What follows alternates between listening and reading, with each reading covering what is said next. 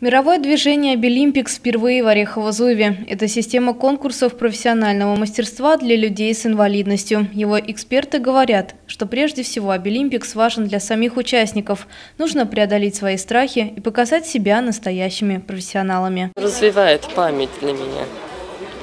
Для меня это будет трудно, но буду стараться промышленно-экономическом колледже студенты соревнуются в компетенции экономика и бухгалтерский учет.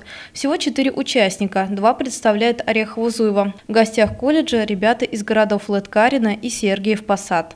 Условия задания одинаковые – провести кассовые операции расчет по расчетному счету, закупить импортные материалы, отразить это все в программе. Последнее – сформировать отчетность. Задача их состоит не только правильно составить э, финансовые документы, но и правильно их вывести для того, того, чтобы могли оценить э, правильность всего заполнения этих э, документов.